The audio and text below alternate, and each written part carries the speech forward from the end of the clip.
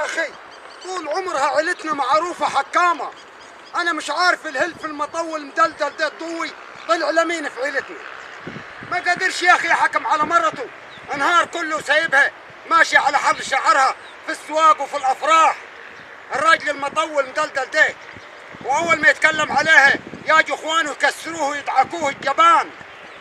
وعايزنا أنا قال احكم له مرته. المطول ده اللي في العيلة ده. آه هتلقاه مدسوس له في مكان. لما أروح أشوفه.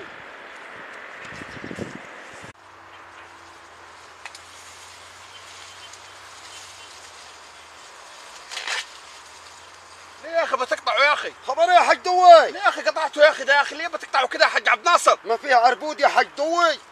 برضه كده يا حاج عبد ناصر عن زرعنه لك إحنا. خبر ما أنت قاعد كده وعلى طول دائما هوايلكم دي كده. لا هوايل تتعبى في شوايل يا عبد ناصر. آه. ليه جلست كل يوم كده عراك أنت والمرة يا شياب افطر الله يبارك فيك فاطر. أحسن. كل يوم كده الحديث والكلام يا حاج دوي مش بتتجرسوا؟ طب إيه أعمال. طب إيه اللي حصل يا أبوي المشكلة دي عليا؟ طب يا أبوي أنا أي مشكلة بتحصل بيني بينها بنت المحروق دي؟ العيب مني. يكون أنا غلطت في حاجة. ولكن مش كده يا حاج دوي عيب. كم مشكلة تحصل معاك زي كده ونروح نردكم ونصالحكم. طب يا ولد عمي المشكلة الأخيرة دي لو غلطان العايب يتعايبوا الناس. يا أبوي ما كسروك قبل كده اخوانها ما مرة بقى كم مرة تغلط فيها وياجي يبهدلوك ويض- ويضربوك. ديلا بيت الواطي. ده لسه عربيتهم عندي بيت الواطي ديلا ديلا بيت واطي أصلا. وبتجيب الإساءة لنا ود عمي بيقولوا ده ما لهوش ناس عيب. هم بيقولوا كده؟ أيوه ما تحرجناش معاك يا حاج دوي عيب وتلم. وأنا يعني حرجك يكون خدت بندقيتك أنت وحلقت معاي. ما تكلم كلام عدل يا أخي. طب إيه اللي حصل المرة دي؟ المرة دي يا واد عمي كان في فرح بنت بسيوني. أيوه سمعت بيه. عارف بسيوني؟ أيوه عارفه. المرة راحت من اذان العصر الكوافير تتحفف. تمام. من يدان العصر جات متمكيجة وحاطة روج ومحنت ومحنتفة حج- حواجبها محنتفاها وخدودها زي التفاح الأحمر ليه يا أبوي هي العروسة يعني ما عشان ما تغلطنيش ولد عمك. النهارده انت الحريم الحريم دي يا حاج عبد ناصر. الواحدة لما تروح لها فرح تبقى على سندة عشرة. ها؟ أيوه صح. وتقعد لجوزها في البيت بالجلابيه اللي كلها بصل وتكلمه. مكشرة وشها يا أخي زي اللي عضدها كلب. ينفع حاج عبد ناصر؟ محاريم مرايتها عمري يا حج الضوي. اولى جوزها تبقى له على سنجة عشرة. طب هن بيبقم في البيت على سن عشرة. الواحدة فالحة لما تروح الفرح تتمكيج وتحفف حواجبها وتلبس العال الحبل كله قالوا تتبر وتروح قال قريت المره يا أخي. المرة الباردة اللي اسنانها كلها مكسرة يا أخي. ها؟ قريت تروح عند فرح بنت شوقي الأسبوع اللي فات. تقول لها الواد بتاع قال شغل لنا قال أغنية أبا أحمد خدني الكوافير أبا أحمد دفعني كتير. وترقص لي كده وتترقص. طب دي هوايل ولا مش هوايل علينا وعلى أبونا؟ حق مرة باردة صح يا حج ما عندي هدم. الحريم المتجوزة دي ليه تترقص في الأفراح؟ عايزالك عريس يا أختي. طب ما ما شغلتش لك أنت الأغنية دي ولا مرة كده. أه؟ ما شغلتش لك الأغنية دي ولا مرة؟ شغلتني اغنيتي يا أبوي. اغنيتي اللي شغلتهاني يا أبوي.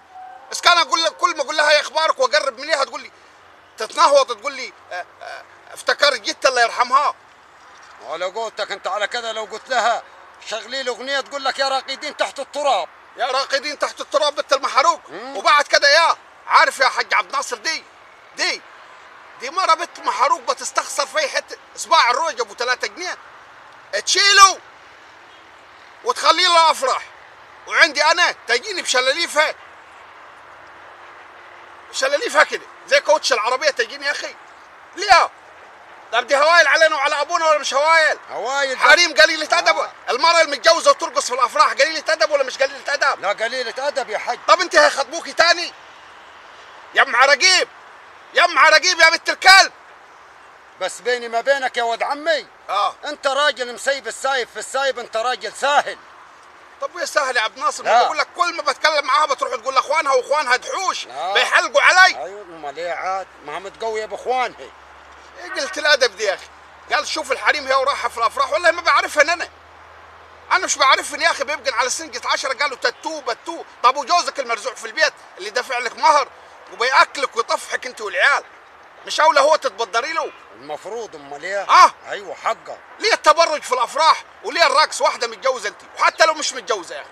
الرقص بيقل قيمة المرأة ولا مش بيقل قيمتها يا حاج عبد الناصر؟ وي. ها؟ بيقل قيمتها أمال إيه؟ المرة قاعدة زي زي البومة في البيت. وجنها وجنب فرح.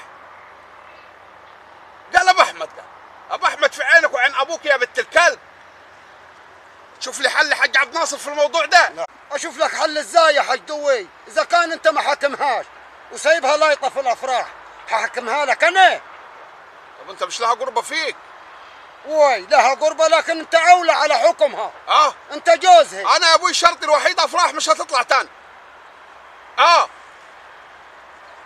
كلام كذب مش آه. بتنفذ. والمكياجات اللي بتحطها هي ورايحة الفرح تحطها لي أنا هتجوز عليها. آه. دي بتخش علي الأوضة يا أخي. بحس عبد الحميد ولد خالتي داخل علي.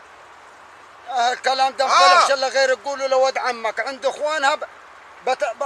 بيجيك سد الحنك. آه. وي. شوف لي حل آه، شوف شوف. لي حل حق عبد ناصر. آه. عشان خلاص جاب الجاز علي النعمه بنعمة ربنا. يعني بص أخلي صورتها تاجي على الإنترنت. زوج قتل زوجته. لا خلاص. آه. حاضر. هروح أشوف لك الموضوع ده. بس شد شد حيلك انت في الحكم عليها شوي اقرص. آه هي طالما المرأة عملت تاتو آه أيوه. فيها فايدة تانية يا عبد ناصر؟ هروح أشوف لك الموضوع ده. طالما عملت تاتو في رقبتها فيها فايدة تانية هتنفع؟ لا هشوف هتنفع دي تاني؟ لا ابدا ما تنفع. طالما رقصت المرأة في الأفراح هتنفع. هشوف لك الموضوع ده. طالما رقصت على المهرجانات ومتجوزة المرأة. ها؟ فيها فايدة؟ حاضر.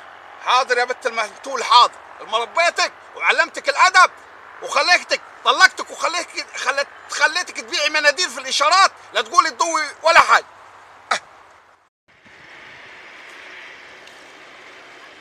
أنا اللي زي ربنا يعينه. دخلت لعبة وهي خسرانة. ضربوا الأعور على عينه ضحك وقال خربانة خربانة. رايح وين يا حاج دوي؟ إيه في خربان عليك يا ولد عمي. ليه اخوانا مش حطوا قلبين البلد عليه ليه يا أبوي عايزين يكسروه. يكسروننا أيوه. ليه بيقولوا قال في مشكلة بينك وبين ام حط طب ما أنا حكيت لك يا ولد عمي من شوية أيوه. دي مشكلة ثانية يا أبوي. مشكلتي آه بيقولوا قال طلبت منك 50 جنيه عشان تعمل تاتو آه. أنت حلفت عليها يمين وما رضيتش تديها لها تديها ال 50 جنيه. أخوها مين فيهم اللي قال لها؟ اثنين صابر وحمدان. صابر؟ أيوه. قال لك عايزة تعمل تاتو أيوه. الله يخرب بيت أبوه. وانت طب اوعى تقول لهم طوي هنا. الحق قالك زوغة. عيال أديهم طرشه يا خالد عمي. قالك زوغة. زوغ من البلد خالص. روح.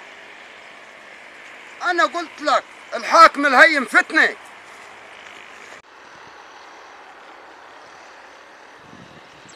عبد ناصر يا أخوي؟ العيال ديلا قلبين علي البلد يا ولد عمي. أمال إيه؟ حيسيبوك بالساهل يا. طب روح هديني المواضيع يا ولد عمي الله يبارك فيك. آه ابوس إيدك العيال دي غشيمة. لا يروحوا ي- يكون نهايتي على ايديهم ليه أنت مش راجل يا؟ أنا راجل يا أخي بس ال- الكترة غلبت الشجاعة. خدها هديها 100 جنيه. بنت المحروق قول لها هذه 50 جنيه تاتو و50 جنيه تعمل بها حواجبها وأمرنا لله. شوف يا أخي الراجل المدلدل العنق البارد ده. هعيش مدلدل بلد المموت روح روح روح عشان قلبين الدنيا علي روح رجل جرستنا جرست عيال عمك. طب روح يلا. خلي عندك شهامة. روح توكل على الله. ولا خل تعمل تاتو ولو صلحت الموضوع اتصل علي أجي عبد ناصر طيب يا أخوي.